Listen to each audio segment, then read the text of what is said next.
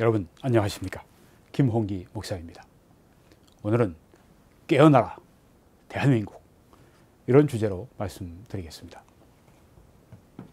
오늘 방송 내용은 최근에 출판된 깨어나라 대한민국 이 책의 저자이신 정동섭 교수님의 글 한 편 소개하는 것입니다. 이 글은 이 책은 깨어나라 대한민국 우리 보수 우파의 책 가운데서 최근의 책 가운데 아주 수작입니다. 명저입니다. 아직 여러분이 읽지 않으셨으면 꼭 구입해서 보시기를 제가 적극 추천합니다. 정동섭 교수님은 미국의 Trinity Evangelical Divinity School에서 기독교 상담을 전공한 학자이십니다. 거기서 박사를 받으시고 한국의 대전에 있는 침례 신학대학원에서 단연간 교수하셨습니다. 지금은 강의와 저술에 집중하고 계십니다. 그동안 수십 권을 저술하신 그런 다산 작가이시기도 하고 이 학자적 양심, 지성, 그리고 영성 이걸 갖춘 보수 우파의 지도자로서 이번에 정말 훌륭한 기여를 해 주셨습니다. 이 깨어나라 대한민국 아마 이 책의 핵심 내용이 오늘 이 글 가운데 있다고 생각이 됩니다. 그 제목은 이것입니다. 하나님이 두렵지 않은가? 그 많은 기대와 우려의 대상이었던 사이로 총선은 여당의 압승으로 끝났다. 180석을 갖게 된 더불어민주당은 벌써 21대 국회가 개원하면 국회 선진화법, 선거법 개정은 물론 개헌까지 추진하자는 목소리가 터져나오고 있다. 공수처법을 시행하게 되면 우리 역사상 처음으로 일당 독재 시대, 유사 전체주의 시대가 열리게 될지도 모른다. 이미 삼권과 언론을 장악한 문재인 정권은 낮은 단계 연방제를 추구하고 있다. 왼쪽으로 기울어진 운동장은 더욱더 왼쪽으로 기울어지고 있다. 우리 자유민주주의 우파 국민들을 가장 불안하게 하는 것은 우리나라가 공산화되어 사회주의 국가가 되는 것이다. 종교 전문가가 볼 때 좌파와 우파, 진보와 보수의 갈등은 유실론적 기독교와 무신론적 주체 사상 간의 사상적 싸움이다. 주체 사상은 김일성을 유일신으로 믿는 수령제일주의 우상 종교이며 종교를 인민의 아편이며 비과학적 미신이라고 간주한다. 문재인 대통령의 언행과 정책을 좌우하는 것은 그가 존경한다는 간첩 신용복이 전수해준 무신론적 주체 사상이다. 내세를 부인하며 변증법적 유물론과 진화론, 계급 투쟁론을 기반으로 하는 인본주의 사상이다. 그 인본주의 사상은 사람이 먼저다라는 말에 상징적으로 농축되어 있다. 최근 노동절에 그는 기업이나 자본가들이 아닌 노동자들이 대한민국의 주류 세력이라고 선언했다. 여당, 여당 지도자들은 대부분 운동권 출신 주사파로서 기회가 있을 때마다 헌법 개정, 토지 공유제 도입, 동일 노동, 동일 임금, 전 국민 고용보험, 국가보안법 폐지를 거론하고 있다. 여당 의원이 모두 운동권 출신은 아니지만 주요 요직을 차지하고 있는 운동권 출신의 주사파가 정책 결정을 하고 있다는 데 문제의 심각성이 있는 것이다.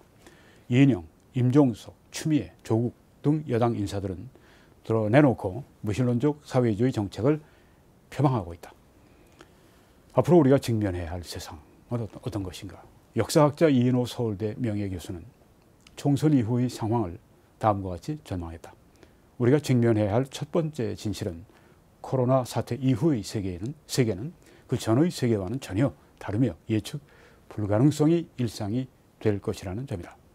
두 번째로 직면하게 될 현실은 미국과 중국 간의 경쟁이 냉전 시대의 수준 이상으로 격화되고 국제적 공조 체제가 급격하게 무너진다는 점이다. 전통적 한미동맹 체제는 약화되고 친중 정책은 강화될 것이라는 점이다. 세 번째로 경계해야 할 것은 북한과 중국, 중국 에게 우리의 주권을 빼앗길 가능성의 문제다. 무신론적 주체 사상을 공유하는 북한의 내부 상황이 급박하게 전개되고 있다. 네 번째로 우리 대한민국의 민주주의 체제가 일당 독재에서 청와대 독주 체제로 굳어지는 것을 어떻게 막느냐 하는 것이다. 공수처법을 밀어붙인다면 언론의 자유는 고사하고 숨도 마음대로 쉴 수 없는 나라로 퇴락할 것이다. 현 정권이 저지르고 있는 가장 치명적인 잘못은 좌편향된 역사 교과서로 우리 아이들을 교육시키고 있다는 것이다. 헌법은 대한민국을 한반도의 유일한 합법 정부로 규정하고 있다. 그러나 현 교과서에서는 1948년에 대한민국은 정부를 수립했다고 쓰고 북한에서는 조선민주주의 인민공화국이 수립됐다고 쓴다. 대한민국은 정부로 북한은 나라로 표현해 정통성을 북한에 부여하고 있다. 대한민국의 정통성을 부정하고 있다. 북한은 유일체제라 미화하고 남한의 역사를 기술할 때는 이승만, 박정희, 전두환, 노태우, 이명박, 박근혜 등의 독재라는 단어를 20여 번 쓰면서 북한에 대해서는 독재라는 단어를 단 한 번도 안 쓰고. 역사적 해석이 안 끝난 박근혜 탄핵은 상세히 기술하면서 문재인, 김정은의 만남은 전면 사진으로 싣고 있다. 촛불 집회로 21세기 민주혁명을 일으켰다면서 태극기 집회는 전혀 언급하지 않는다. 완전 좌편향된 교과서로 전교조 교사들이 아이들을 일방적으로 의식화하고 있다. 우파에서는 문재인을 연산군에 비유하는데 좌파에서는 세종에 비유하고 있다. 무신론적 사회주의 모토는 목적은 수단을 정당화한다는 것이다. 장기 집권과 선거 승리를 위해서는 선전, 선동, 위조, 거짓말, 폭력을 사용해도 된다는 것이다. 지난 3년간 문재인 정권은 반칙과 특권이 없는 사회를 만들겠다고 약속했다.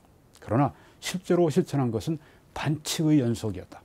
김경수 인터넷 8,800만 댓글 선거 조작, 이중 인격자 조국의 법무부 장관 임명, 유재수 검찰 무마, 감찰 무마, 울산시장 청와대 하명 선거 공작, 우리들 병원 특혜 대출, 신라젠, 라임 사태, 김정숙 여사의 청주 터미널 4천억 투자, 안희정과 오거돈 성추행 등 좌파 집권 세력의 비리와 부정은 끝이 없다. 현 정권의 죄가 하늘을 찌르고 있다. 그런데도 여당은 문재인이 지난 3년간 태종과 같은 치사를 했으니 이제 세종과 같이 정치할 일만 남았다고 용비어 청가를 부르고 있다. 진실과 거짓, 진리의 영과 거짓의 영의 영적 싸움. 종교 심리학자의 입장에서 볼 때 현재 우리나라에서 벌어지는 싸움은 진실과 거짓의 싸움이다. 유실론과 무실론, 창조론과 진화론의 갈등이 전개되고 있다. 한국의 보수 정당을 대표하는 이들은 대부분 하나님을 경외하는 그리스도인들이다. 황교안, 이현주, 김진태, 김문수, 민경욱, 김경재, 이계성 등은 대표적인 신앙인들이다. 탈북한 정치인 중 태영호, 이해란, 강명도, 정성산 등은 가짜 하나님 김일성 3대를 추종하다가 창조주 하나님에게로 돌아온 그리스도인들, 그리스도인들이다. 보수 우파를 대표하는 원로들 가운데 김동길, 김진홍, 이인호 등은 하나님을 신뢰하고 하나님의 뜻이 우리나라에 이루어지기를 기도하는 지성인들이다. 반면에 거짓의 영에 사로잡힌 문재인 대통령은 촛불 시위로 인터넷 댓글로 집권하여 국민들에게 수십 가지 약속을 하고 한 번도 경험하지 못한 나라를 만들겠다는 약속만을 정치를 빙자해 상습적으로 사기, 프로드를 치는 사기를 치는 거짓말쟁이다. 현 집권 세력에 가세하고 있는 국회의원, 판검사, 변호사, 전교조, 노조원, 참여연대 등 대부분은 주사파 운동권 출신으로 무신론적 유물론과 진화론을 따르는 이들이다. 이인영, 임종석, 조국 등은 현 집권 세력은 등은 현 집권 세력은 대부분이 유물론적 무신론자들로서 사회주의자임을 자처하는 이들이다. 헌법에서 자유를 빼는 개헌을 하고 교회와 언론을 재편하겠다고 벼르고 있다. 인본주의자들은 하나님을 두려워하는 게 없다. 경제학자 공병호의 지적대로 사회주의는 부유한 자를 끌어내리려 하나 자유주의, 보수주의는 가난한 자를 끌어올리려 한다. 사회주의가 집권한 후 우리나라 경제, 교육 등 모든 영역이 하향 평준화되고 있다. 우리나라 건국의 아버지 이승만은 신본주의자로서 1948년 기독교적 가치 위에 대한민국을 건국하였고 공산주의자 무신론자 김일성은 무신론적 인본주의자로서 조선민주주의 인민공화국을 건립했다. 지난 70년의 대한민국 역사는 한미동맹을 바탕으로 세계 10위권 대의 경제 대국으로 성장했고 무신론적 신정국가인 북한은 세계에서 가장 인권과 종교를 탄압하는 부자비한 노예국가로 전락하였다. 주사파는 남편, 남한이 미국의 식민지라는 편향된 역사관을 가지고 있으며 대한민국의 성장과 발전의 근간이 되는 이승만, 박정희 시대를 완전 부정하고 있다. 한미동맹 덕분에 우리가 민주화와 경제적 성취를 이룰 수 있었는데 주사파는 김일성의 인민민주주의 공화국의 정통성이 있다며 우리 현대사를 완전 왜곡 부정하고 있다. 지금 유럽의 하나의 유령이 출몰했다. 공산주의라는 유령이 1948년, 1848년이죠. 네, 1848년 마르크스와 엥겔스가 저술한 공산당 선언의 서도이다. 유럽에서 태어난 공산주의가 70여 년이 지난 지금도 하나의 종교 이념처럼 한반도에서 영향을 미치고 있다. 경제적으로는 우리가 북한을 압도하고 있는데도 사상전에서는 우리가 공산주의 주체 사상 이념 때문에 북한에 밀리는 형국이 되었다. 80, 90년대, 80, 90년대 운동권으로 주체 사상에 세뇌된 주사파가 행정, 사법, 입법, 언론, 노조를 장악한 정권은 반미, 반기업, 친노동 정책으로 사회주의적 몰수분배를 외치고 있다. 북한이 지상에서 가장 불행하고 비참한 종교 탄압 국가가 되었는데도 좌파 세력은 미군 철수를 외치며 남북 연방제로 남북 연방제로 북한의 사회주의 체제를 닮아가려 하고 있다. 문재인은 신년사에서 우리 사회가 더 통합적이고 합리, 협력적이 되어야 하며 보수와 진보가 서로 이해하며 손잡을 수 있어야 한다고 했다. 취임사에서는 한 번도 경험해, 경험해 보지 못한 나라, 경험해 보지 못한 더 행복한 나라를 만들겠다고 약속했다. 평등, 공정, 정의, 포용 같은 아름다운 수식어로 국민을 현혹시켜 놓고 국민을 선동, 기만, 사기 당할 수 있는 존재로 개, 돼지 취급을 하고 있다. 사회 공동체를 유지하려면 게임의 규칙이 필요하다. 잘못하면 책임을 묻고 처벌해야 마땅하다. 그러나 이 정권에서는 불법, 편법, 반칙은 문제가 되지 않는다. 자기 진영 사람은 법을 어겨도 괜찮다는 식이다. 참과 거짓, 선과 악, 정의와 불의의 기준 자체를 바꿔버렸다. 불법과 편법, 반칙이 정의로 둔갑하고 있다. 현 정권은 소득주도 성장, 탈원전 정책, 코로나 차단 실패 등 잘못된 정책을 수없이 시행하였으나 전문가들의 거듭된 지적에도 정책을 수정할 생각을 하지 않고 고집스럽게 밀어붙이고 있다. 채택한 정책이 효과를 내지 않으면 철회하고 수정하는 것이 당연할 것이다. 당연한 것이다. 그러나 문 정권은 비이성적인 독재자의 모습을 보이고 있다. 김경률 전 참여연대 집행위원장은 그 이유에 대해 예리한 통찰을 제공하고 있다. 운동권의 정치 이념적 기반은 주체 사상이고 주체 사상의 하나가 수령 무오류성이다. 수령이 오류 없다. 수령, 수령은 결정에 실수를 할 수 없다는 것이다. 무수히 많은 잘못을 하고 범법을 하였어도 현 집권 세력은 사과를 한 번도 안 했다. 자기들은 잘못한 게 없다고 한다.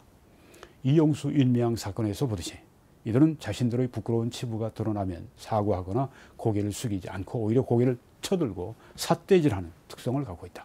윤미향은 저에 대한 공격은 보수 언론과 통합당이 만든 모략극이고 친일 세력의 부당한 공격이라고 그렇게 말한다. 말로만 정의, 공정, 민주, 인권 등을 독점해온 이들은 자신의 치부가 드러나면 솔직히 책임을 시인하지 않고 오히려 투사 책임 전가를 일삼으며 피해자를 역공한다. 문재인 정권을 한마디로 특정 지으면 거짓말, 내로남불, 막가파 정권이다. 내가 하면 로맨스고 남이 하면 불륜이다. 조국의 권력과 연루된 다양한 비리와 울산시장 선거 개입을 덮으려고 인권 보호라는 껍데기를 씌워 수사 검찰을 개혁이라는 이름으로 타살해 버렸다. 말과 행동이 어긋나는 것도 모자라 추미애는 시간을 밥 먹듯 했다. 이런 거짓말과 불법으로 나라를 어지럽게 한 정권은 없었다. 문재인은 취임사에서 국민 모두의 대통령이 되겠다고 해놓고 철저하게 자기 편만 챙겨왔다. 문재인의 위선과 이중성은 극치에 치닫고 있다. 이런 반사회적인 성격 장애자가 대통령으로 이 나라를 다스리는 동안 우리나라는 경제가 추락하는 것은 물론 총체적으로 더 불행해지고. 동성연애, 결혼은 동성 간에도 할 수 있다? 마르크스 레닌이즘을 뿌리로 하는 김일성 주체 사상은 무신론적 인본주의 사상이다. 따라서 하나님을 두려워하는 것이 없다. 창조 질서를 믿지 않고 진화론을 믿고 있다. 따라서 결혼은 남녀 간에만 하는, 하는 것이 아니고 동성 간에도 할 수 있는 것이라고 퀴어 축제를 부추기며 9월 말까지 차별금지법을 통과시키겠다고 벼르고 있다. 남자 며느리, 여자 사위를 두는 동성 간의 결혼을 합법화시켜야 한다는 것이다. 그리스도인은 성경을 하나님의 말씀이라고 믿는 이들이다. 동성애를 어떻게 볼 것인가? 결혼은 남자와 여자의 연합이다. 성경은 신구약을 막론하고 동성연애는 엄격히 금지하고 있으며 금지하고 있으며 동성연애자에 대한 처벌도 가혹하다. 너는 여자와 교합함 같이 남자와 교합하지 말라. 이는 가정한 일이니라. 레위기 18장 22절 말씀. 동성연애자 유전자를 찾으려는 노력은 많지만 아직까지 동성연애 유전자가 있다는 증거는 발견되지 않고 있다. 사람의 신체 기관은 이성 사이의 부부 생활이 가능하도록 되어 있지 동성 간의 부부 생활에는 적합하게 적합하지 않게 되어 있다. 항문은 배설에 적합하도록 만든 기관으로서 매우 연약한 피부 조직을 갖고 있기 때문에 이곳이 성적 기관으로 이용될 경우 순리로 쓸 것을 영리로 쓰기 때문에 에이즈를 비롯한 각종 질병에 걸리기 쉬운 것이다. 무신론적인 주사파 정권은 인권 신장의 미명하에 동성애를 합법화하려고 하고 있다. 인권은 죄를 지을 수 있는 권리가 아니다. 우리는 국민 절대 다수가 역차별당하는 소수 차별 금지법을 반대하고 막아내야 한다. 무법 천지, 막가파 전체주의 국가를 만들려 하는가? 윤석열 검찰총장은 대통령으로부터 살아있는 권력에 대해서도 엄정하게 수사하라는 지시를 받아 각종 비리에 연루된 조국을 법에 따라 수사했고 울산시장 선거 개입에 연루된 10여 명을 기소하였다. 범죄 혐의가 있는 최강욱과 청와대 하명 수사에 앞장섰던 울산경찰청장 황운하, 법무부 인권국장 황희석 같은 이를 공천하여 국회의원을 만드는 여당도 이해가 안 되지만 이들이 최근 윤 총장이 윤석열 총장이 이천 물류창고 화재 참사에 대해 수사 지시를 내리자 한 목소리로 검찰 만능주의, 검찰의 속셈과 이에 놀아나는 언론의 현실이라 공격하고 있다. 의인과 악인의 구별이 없다. 심지어 공의로운 법 집행을 하고 있는 검찰총장을 공수처 수사 대상이라고까지 협박하고 나섰다. 의인을 악하다고 처벌하겠다는 것이다. 범법자들이 도리어 성실하게 법을 집행하고 있는 검찰총장을 비난하고 처벌하겠다고 하는 것은 법치주의 국가에서 있을 수 없는 일이다. 도둑들이 경찰을 잡겠다는 격이다. 이들에게는 하늘, 하나님을 두려워하는 것이 없다. 헌법도 십계명을 어기는 것도 아무 문제가 안 된다. 아나무인이다.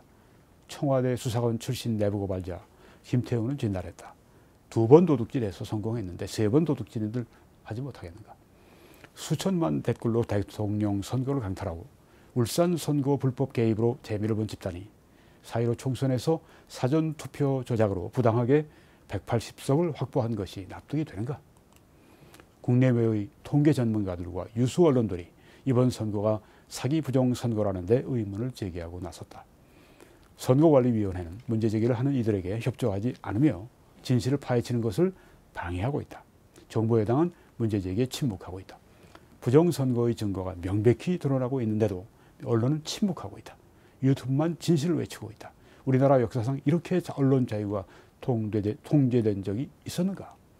과거 정권은 잘못이 없는데도 죄를 억지 조작하여 적폐청산 이름으로 처벌하면서도 조국의 범죄, 손혜원의 범죄, 김경수의 범죄, 최강욱의 범죄, 윤국원의 범죄, 윤규건의 범죄, 김남국의 범죄가 명백한데도 자기 진영 사람이기 때문에 죄가 아니라고 계속 수사와 재판을 뒤로 미루며 구부러진 판결을 하려 한다. 대통령을 비롯해 현 주사파 집권 세력은 하나님을 두려워하지 않는 인권 인본주의자들이 대부분이다. 성경은 하나님을 자기 하나님으로 삼는 백성이 복이 있다고 했다. 하나님을 믿지 않고 하나님을 두려워하지 않는 주사파 사회주의자들이 나라를 쇠락의 길로 이끄는 것을 보고 방관할 수 없어 전국의 교수들과 장성들, 서울대 트루스 포럼 지식인들이 경고하는 성명을 발표했다. 미국과 호주의 해외 동포들이 부정선거를 파헤치라고 소리를 높이고 있다. 하나님을 두려워하지 않는다면 적어도 지식인들과 전문가들의 지적, 국민들의 탄원을 두려워해야 하지 않겠는가? 진실과 기름은 반드시 수면 위로 떠오르게 마련이다. 부정선거의 내막은 밝혀지고야 말 것이다. 오만 무능한 정권은 무반응, 무반응으로, 무반응으로 일, 일관하고 있지만 시간이 지나면 책망받는 모든 것은 빛으로 나타나게 마련이다. 에베소 5장 13절. 하나님은 진리와 공의의 하나님이시다. 하나님을 두려워하지 않는 좌파 주사파가 게임의 룰을 억지를 써서 자기들에게 유리하게 바꿨다. 헌법 정신에도 어긋나는 연동형 비례대표제, 공수처법을 만들더니 총선에서는 사전선거표 조작을 통해 거대 여당을 만들었다. 축구 경기로 말하면 파울 플레이를 계속하고 있다. 심판, 하나님, 양심, 상식, 십계명, 헌법. 이 심판의 말도 듣지 않는다. 그야말로 백성을 무지몽매한 개돼지로 취급하고 있다. 하나님을 두려워하지 않는 불의하고 부도덕한 정권의 도모를 누가 막을 수 있겠는가? 윈스턴 철치는 자유주의는 국민 모두를 행복하게 하고 사회주의는 모두를 불행하게 만든다고 했다. 자유주의는 가난한 자를 끌어올리려 한다. 사회주의는 부유한 자를 끌어내리려 한다. 우리가 선택해야 할 길은 개인의 행복을 우선하는 체제이다. 민족의 이름으로 개인을 억압하는 선택은 불행으로 달려가는 지름길이라. 탁석산. 좌향좌는 가난으로 가는 길이라. Road to poverty. 지금까지는 왼쪽을 선택했던 사회 중 성공한 사례는 없다. 사회가 평등을 추구할 때 우리는 평등은커녕 자유조차 잃어버릴 수 있다. 좌향좌 사회는 결코 번영할 수 없다. 공병호. 체제의 선택은 중요하다. 진보라는 이름으로 포장된 사회주의 혹은 유사 사회주의에 현혹되어서는 안 된다. 지난 100여 년간 사회주의는 정치적으로나 학문적으로 그리고 현실적으로 충분히 검증을 받고 역사의 뒤안길로 사라졌다. 그런데도 지금에 와서 실패한 사회주의를 다시 시도하겠다는 것인가? 여당은 벌써 장기 독재를 위해 원포인트 개헌을 하겠다고 공언하고 있다. 헌법에서 자유를 빼고 인민을 넣어 우리나라의 기본 틀을 인민민주주의, 사회주의로 바꾸겠다는 의지를 드러내고 있다. 기업과 언론, 교회, 패권을 선봐 사회주의 헌법으로 개정하겠다고 한다. 국가 비상사태인데 국민들은 그 심각성을 전혀 의식하지 못하고 있다. 우선 미래통합당 국회의원 당선자 108명을 비롯해서 자유민주주의를 지키고자 하는 모든 국민들은 한 마음 한 뜻이 되어 개헌을 막아내야 한다. 선거 부정을 밝혀 총선을 무효화하면 개헌, 공수처, 사회주의가 무력화되겠지만 하나님의 주권적 개입이 없이 그것이 가능하겠는가. 악인을 의롭다 하고 의인을 악하다 하는 이 두 사람은 다 여호와께 미움을 받느니라. 잠언 17장 15절. 의인을 벌하는 것과 귀인을 정직하다고 때리는 것은 선하지 못하니라. 잠언 17장 26절 말씀. 공의는 나라를 영화롭게 하고 죄는 백성을 욕되게 하느니라. 잠언 14장 34절. 악인을 두둔하는 것과 재판할 때 의인을 억울하게 하는 것이 선하지 아니하니라. 잠언 18장 5절. 하나님이여 이 나라를 악인의 괴계로부터 지켜 주옵소서. 아멘. 이것이 필자의 그리고 기도이고 또한 우리 모두의 기도입니다. 참 놀라운 글입니다. 우리 시대를 깨우고 우리 양심을 깨우고 우리 지성을 깨우고 우리 애국심을 깨우는 그런 정말 놀라운 글입니다. 이 글의 저자인 김동석, 정동섭 교수님의 깨어나라 대한민국 이 책을 여러분이 꼭 구입하셔서 읽어보시길 바랍니다. 주체 사상에 현혹된 대한민국의 정체성. 종교 심리학자가 이, 이, 그 이단 종교 같은 이 주체 사상 현혹된 네, 이 대한민국의 정체성을 바로잡기 위해서 귀한 책을 내셨습니다. 꼭 여러분이 이 책은 어, 책값이 만 원입니다. 꼭 구입해서 여러분이 예, 보시기 바랍니다. 현 어, 서점에서는 구입할 수 없습니다. 이것은 어, 저기 전화번호가 있습니다. 저기에 전화를 하셔서 010-3286-1988 여기로 문자를 하시든가 보내시든가 아니면 전화하셔서 이 책을 꼭 구입하시기 바랍니다. 이 책을 구입하 여러분이 읽으시면 여러분의 무장이 되고 또한 이런 책을 예, 쓰는 우리 이 귀한 저자들을 우리가 어, 그 더 좋은 어, 앞으로 어, 더 많은 일을 하실 수 있도록 우리가 이렇게 예, 밀어드리고 격려해드리는 예, 그런 어, 그 일이 될 것입니다. 여러분들이 그렇게 협조해 주실 것을 믿습니다. 네, 이 글을 써주신 어, 교수님, 정 교수님, 그리고 또 이렇게 방송할 수 있도록 허락해 주신 어, 정동섭 교수님께 진심으로 감사를 드립니다. 하나님의 거신 축복이 우리 한민족과 함께 하시기를 간절히 축원합니다.